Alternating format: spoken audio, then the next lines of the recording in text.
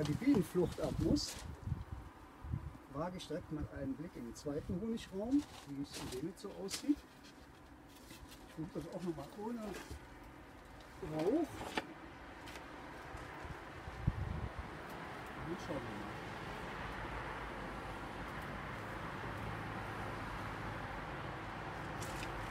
Das macht ein sehr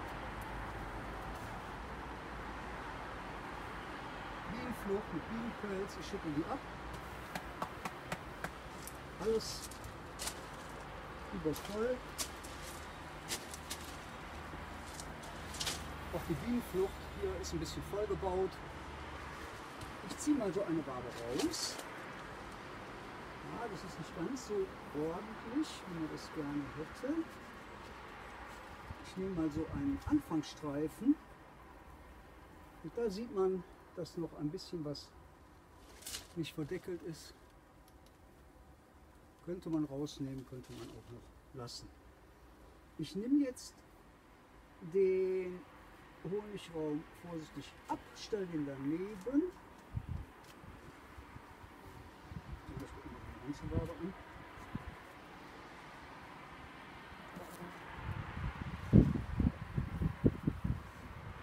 Die ist fast komplett. Nee, hier auf der Seite auch nicht verdeckelt. Ja, also die sind sehr fleißig, die Bienchen. Im Prinzip könnte man das wahrscheinlich auch ernten. Ich stelle das jetzt auf den Deckel, gebe dann ein bisschen Rauch drauf und schau mal, ob ich noch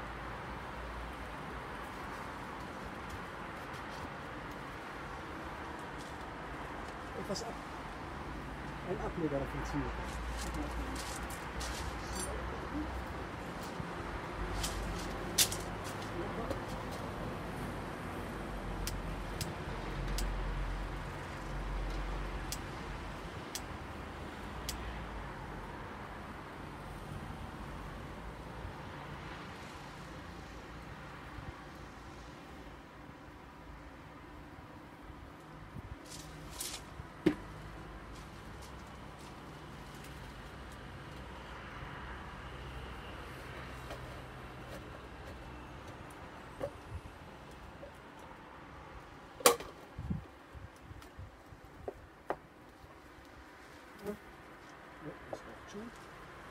So, also, der Plan ist, Honigraum abnehmen, nur mal oben reingucken, ob ich irgendetwas sehe, was nach äh, Schwarmzellen aussieht, eventuell zwei Waben mit Brut in den kleinen Ableger da vorne transportieren und schauen wir mal. So, als erstes Honigraum abnehmen. Den stellen wir auf den Streichholz, damit wir das Luft kriegen.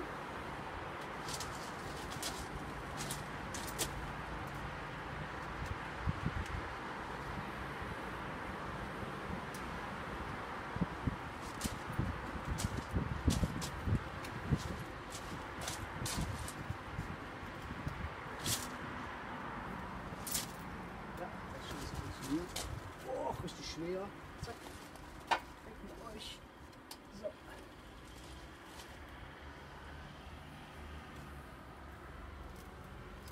Spielgitter ist gut mit Propolis belegt.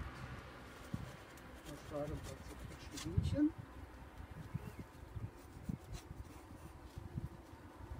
So, als Absperrgitter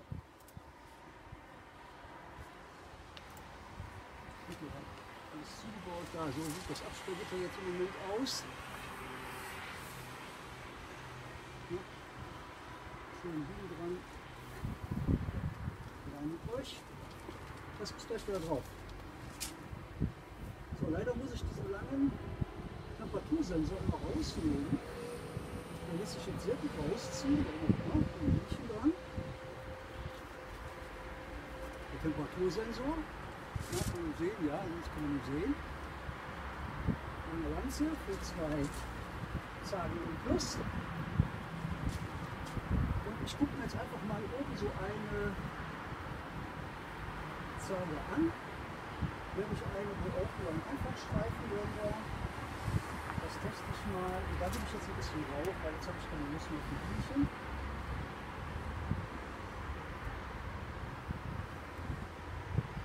So. Gehen sofort zurück in die Wabengassen, sehr schön. Was haben wir denn hier? Ja, alles mit Honig vollgetragen.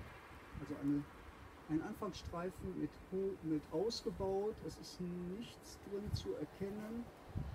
Relativ große Waben und alles mit Honig voll gebaut. Ich will das mal zu zeigen. Hoffe, man kann das ein bisschen sehen. Auf der Seite ist schon mehr Honig drin.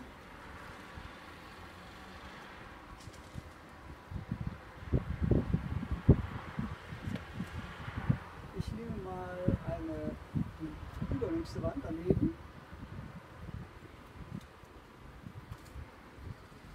Voll ausgebaut, das war eine ganze Mittelwand. Ich sehe ausschließlich Honig, hier ein bisschen Pollen. Nichts, was irgendwie laufen ein paar Drohnen rum, irgendwie aussieht, als würde da jemand schon brüten. So sieht das aus. Den würde ich auch ganz gut erkennen. Ich gebe es mal in alle Richtungen. Ja. Ja. Jetzt habe ich noch eine etwas ältere Wabe, die ist hier am Rand. Die schaue ich mir mal an.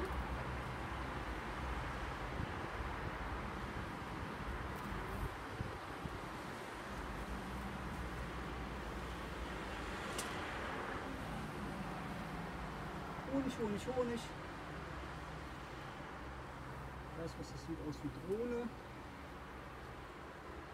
Aber nichts, was aussieht wie Brut. Also im Prinzip ist das ein, ein ungebrüteter Honigraum. Ich kontrolliere mal weiter. Vielleicht kann man den tatsächlich auch als solchen weiter verwenden. Dann kommt er gleich aufs Absperrgitter. Ja, keine Brut. Das werde ich machen. Die werde ich auf das Absperrgitter stellen.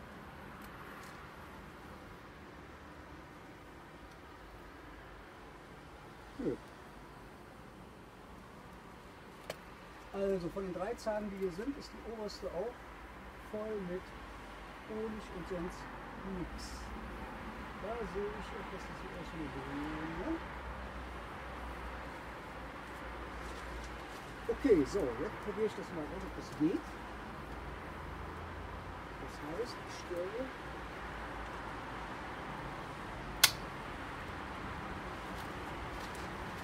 hier drauf.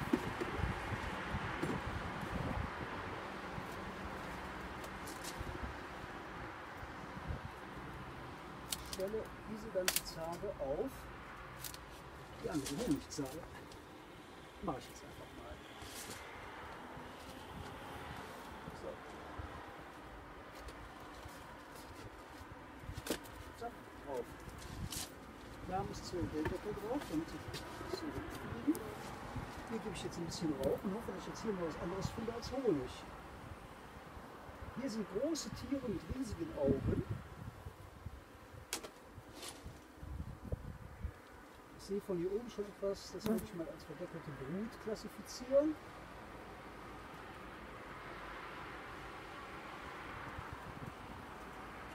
Verdeckte Blümchen, leider, leider. Zerquetscht ja doch noch ein paar. Ja.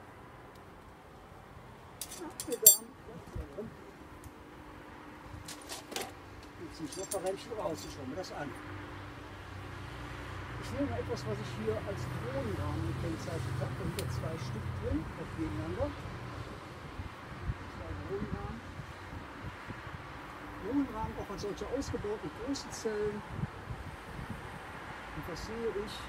Auch mit alles mit Honig vollgetragen. Der ist nicht sehr stabil und tue ich das wieder rein. Also keinen Spaß. Noch ein Drohnenrahmen.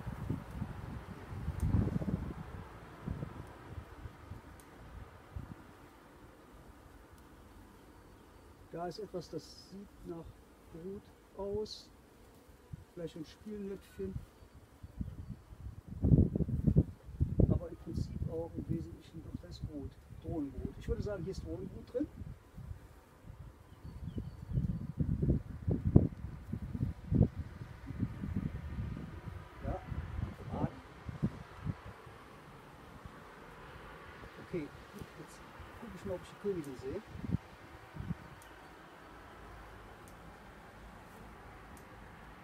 Sehe nichts, was aussieht wie eine Königin. Jetzt versuche ich doch mal, ob ich mir diese Brut zeigen kann.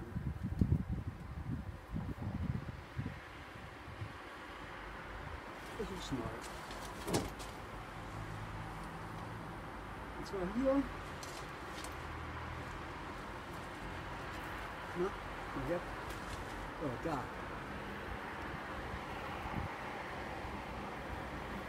Will ich jetzt hier schlecht erkennen. Da sieht man auf dem Video.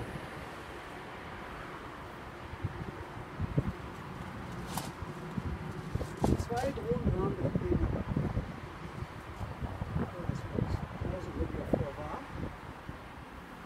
Ziemlich die, Wa die Waage direkt neben dem Drohnenrahmen.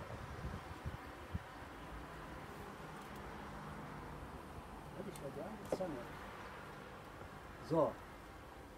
Hierauf sehe ich jetzt etwas, das sieht aus wie verdeckelte Brut. Honig natürlich auch viel, Pollen viel, alles kreuz und quer durcheinander. Nichts, was ich für eine Königin halten würde.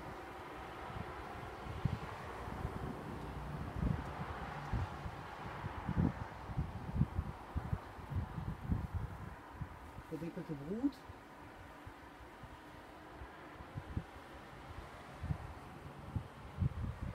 keine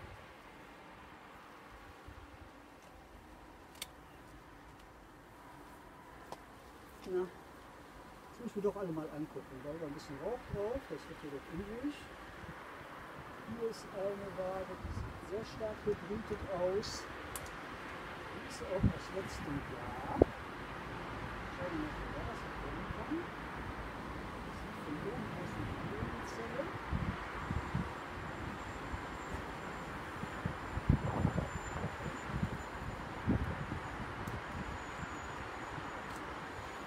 Die ist sehr leicht.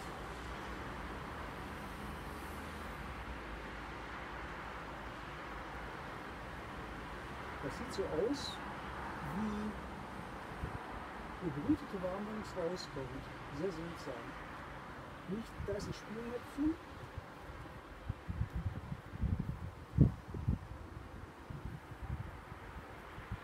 Auch nichts, was irgendwie ein Stift oder so ähnlich aussieht, nichts, was eine Königin aussieht.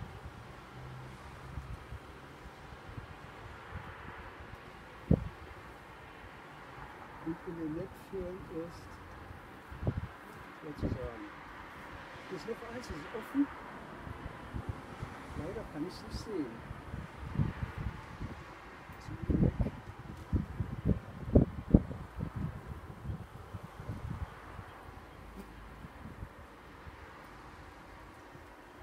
Hier ist etwas, das könnte man für einen Weißenzelle halten und ist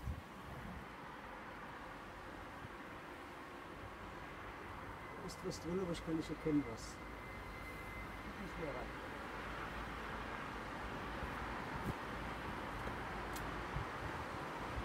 Die nächste, das war meine ganze Mittelwand.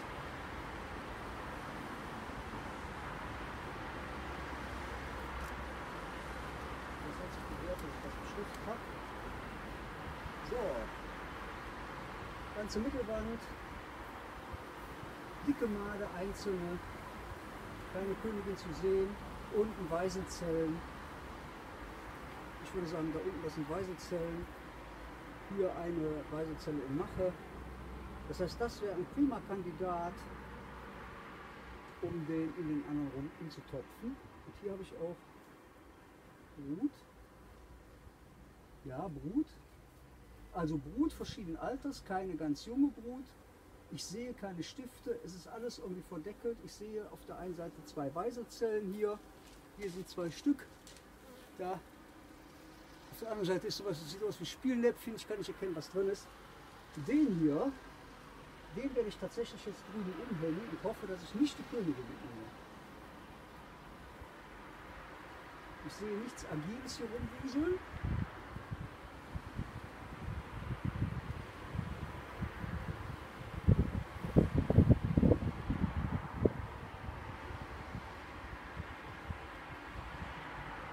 Stelle. Ist auch gar kein Platz. Also, kommt der da drüben rein.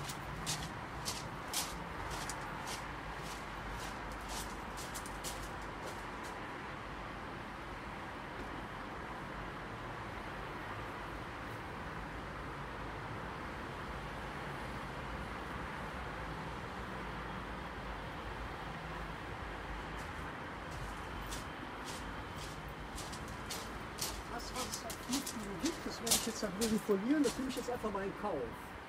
Dass die wieder hin zurückfliegen.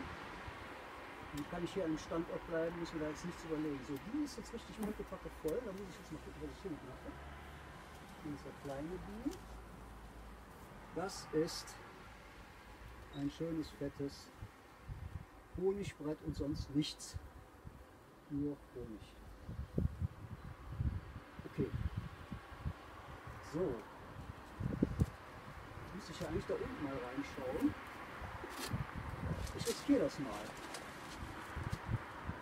Dann nehme ich hier als Zwischenteil meine Innenflucht.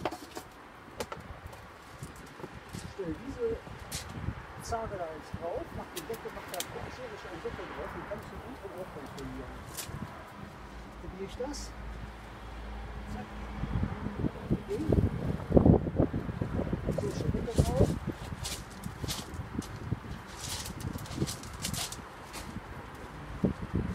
Und etwas Rauch. Theoretisch müsste gleich die Königin, bisher nicht gesehen habe, die Königin erst unten drin sein. Das war jetzt die Zahl mit den abgeschrägten Ecken, wo also nur fünf Bällchen drin sind. Ich greife jetzt mal mitten rein und hole mal eine leichte, sehr volle raus. So. Dicke Maden.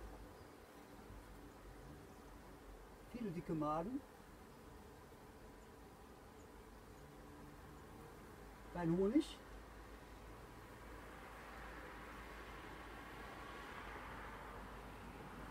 Etwas, was aussieht wie ein Spielnäpfchen. Eine weiße Zelle, nee, eine weiße Zelle, kein Spielnäpfchen. Ich zeig's mal. Ich schüttel mal ein paar Bienen ab. Ja.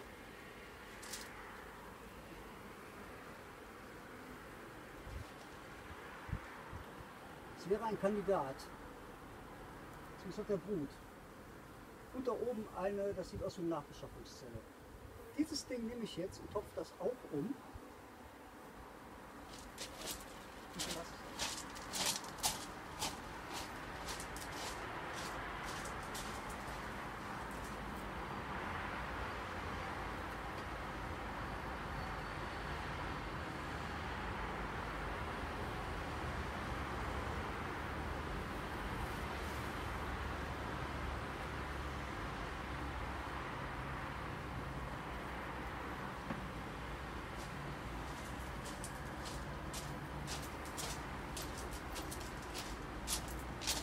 Kaum Futter. Das ist ein Problem. So, was habe ich hier noch?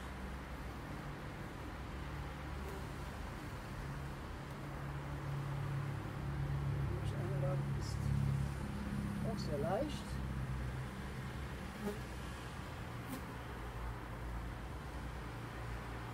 Viel Blut, keine Stifte, keine Königin.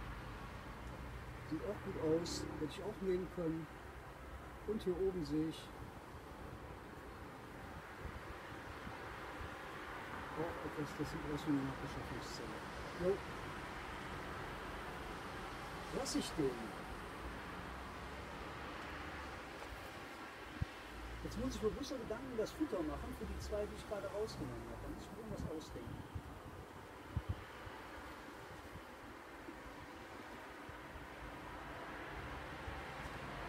Ja. Hier eine kleine Kugel im Gesicht.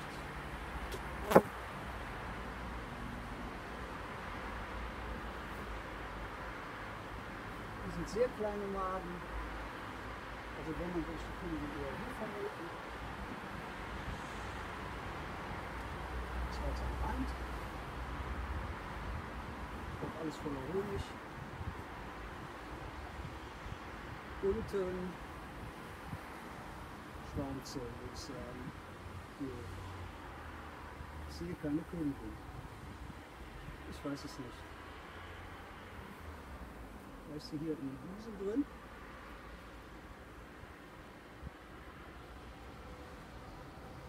Ne, sehr viel Unruhe. Ja.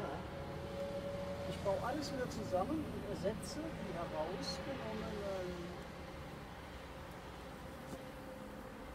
Rähmchen durch.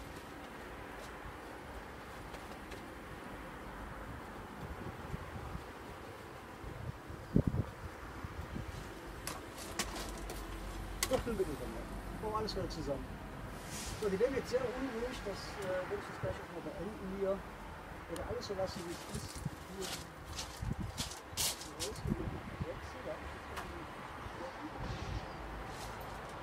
So, ich nehme die Anfangsstreifen, das hat sich eigentlich bewährt, das hat gut funktioniert. Und ich finde, die Zwischensätze wird auch ordentlich ausgebaut. Ja, Anfangsstreifen da rein. So, so ein Ding hier.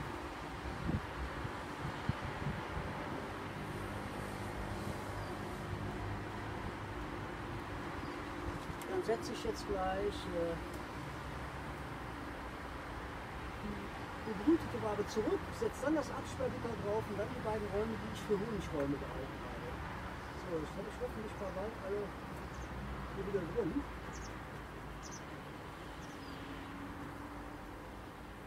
Ja, sollte nicht den Po heben, sondern wieder reingehen.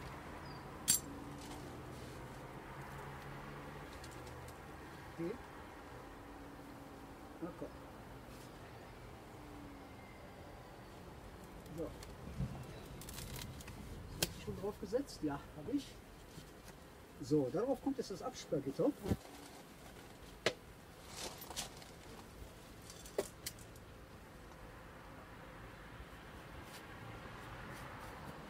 Dann habe ich im Prinzip nur zwei Bluträume.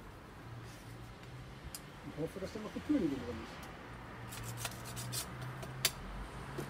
Da muss aber jetzt der Sensor rein. In den Blutraum. Mache ich mal. Vorsichtig, dass ich mich keinen verletze.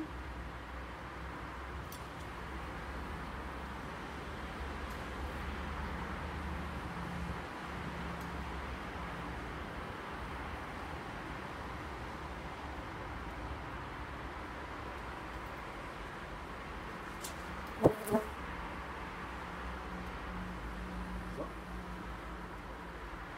Wieder zusammenschieben.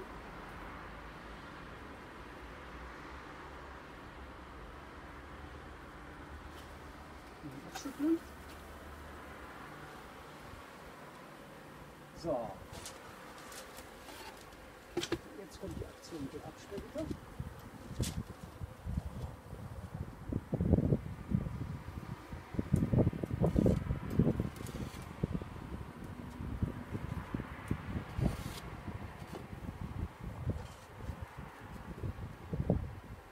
Später drauf. Und jetzt in der ehemals richtigen Reihenfolge jetzt drauf der untere Raum, der mit Honigmann ist und dann der obere. Der exotische Raum.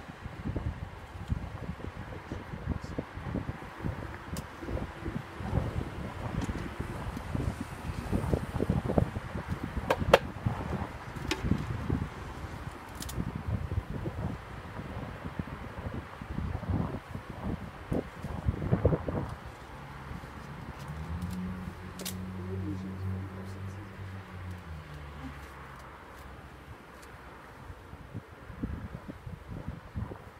Ich setze den alten Honigkorn jetzt mit Bienenflucht hier oben drauf.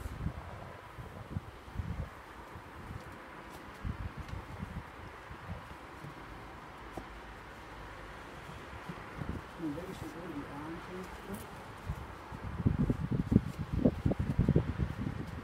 So, Bienenflucht. Ganz schwer schon. Der kommt jetzt oben drauf, da können wir das langsam aber sicher verlassen. Alle übrigen Bienen schüttel ich jetzt hier oben in diesen Honigraum.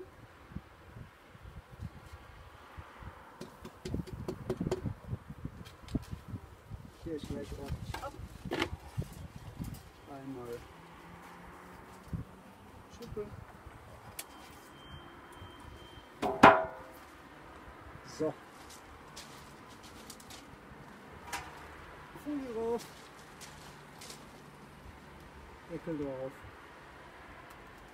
Und gut. So, das ist jetzt hier eine andere Orientierung. Also quer. Mal gucken, was das so bringt.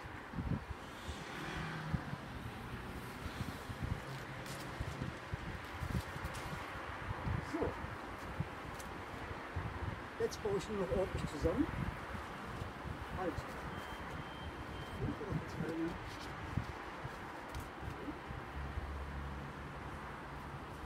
Fünf oder eine Waage. Eine Waage vergessen.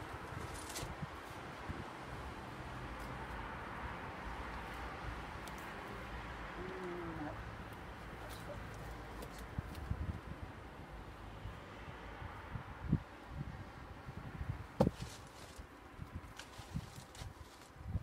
Gut, kommt da hinten jetzt muss noch ein Leerwabe rein und schauen wir, was daraus wird.